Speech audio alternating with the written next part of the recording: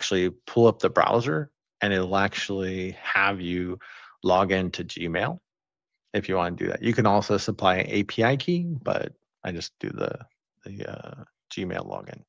So, all right, and here is now our new terminal prompt for Kali Linux, but it's tied in with Gemini. So where this gets interesting is I can say something like, okay, scan the 10.2.1.0 subnet for the presence of Modbus. Right.